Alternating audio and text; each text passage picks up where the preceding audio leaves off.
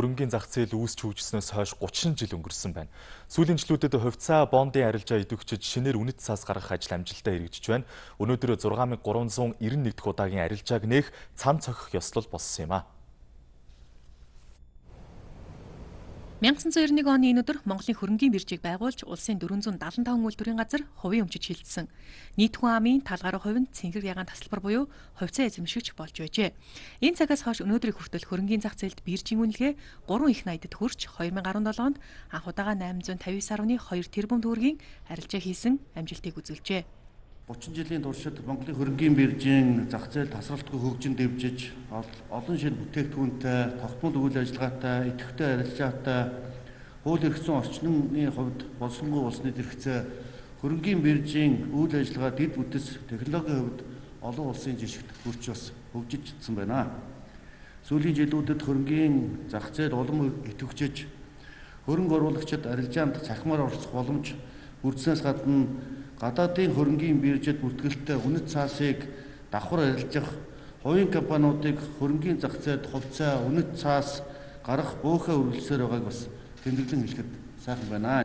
Өндөр хөгжилтэй улс орнуудад хөрөнгийн зах зээл дэх иргэдийн оролцоо дунджаар 30-аас 40% эзэлдэг. Харин манай улсад 10 хүрэхгүй хувьтай байгааг цаашид анхаарч иргэдийн оролцоог нэмэгдүүлэх чиглэлээр анхаарч ажиллах юм байна.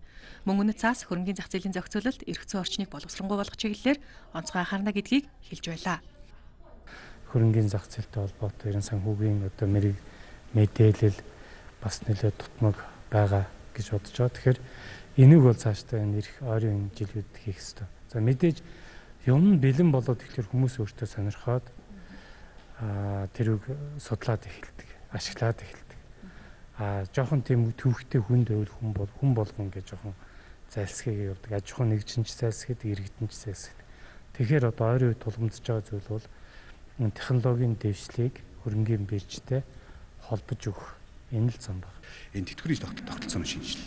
За ингэж шинжлэгдэж одоо иргэдийн ирээдүйд авах нь хоримтлал өөрөө хөрөнгийн биржээр дамжиж одоо бусад энэ зах зээл эдийн засгтэр байж байгаа одоо дотоодын компаниудын санхүүжилтийг бий болгох ингэснээрээ бол иргэдийн ирээдүйд авах хоримтлал нь тухайн компаниудын одоо өгөөжөөр харивжиж хөрөнгийн зах зээл хөгжиж иргэд маань ирээдүйд хоригдлолтой болсон компаниуд маань урт хугацааны хөрөнгийн их усртэй болсон гих зэрэгээр одоо юу харилцан юм ашигтай ийм том одоо шинжил хийгдснээр бол энэ хөрөнгийн зах зээлийн хөгжил бол шин шин шатанд гарна Ирэх жилүүдэд олон жил яригдсан чирэгжиж чадаагүй биржийн бус зах зээлийг тойрсон ажлыг бодит болохоор ажиллана. Тодруулбал хамтын хөрөнгөний сан, нээлттэй хөрөнгөөр баталгаажсан үнэт цаас зэрэг олон шинэ бүтээгдэхүүний хөгжүүлэлт, технологийн шийдэл, банкны салбарт шинжилэл хийж онцгой анхаарал хандуулж ажиллана гэлээ.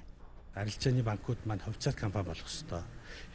За энэ бол маш том реформ тийм ээ хийгдэн. За дээрэс нь тэтгэврийн тогтолцоо маань бол бас өөрчлөгдөх ёстой.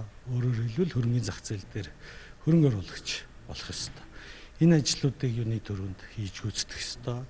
Хөрөнгөний бирж дотоодын 192 аж ахуй нэгж хувьцаагаа арилжаалдаг. Өдөртөө 40-оос 50 хувьцаа арилжаалагдаж 200-аас 500 сая төгрөгийн гүйлгээ хийгддэг байна.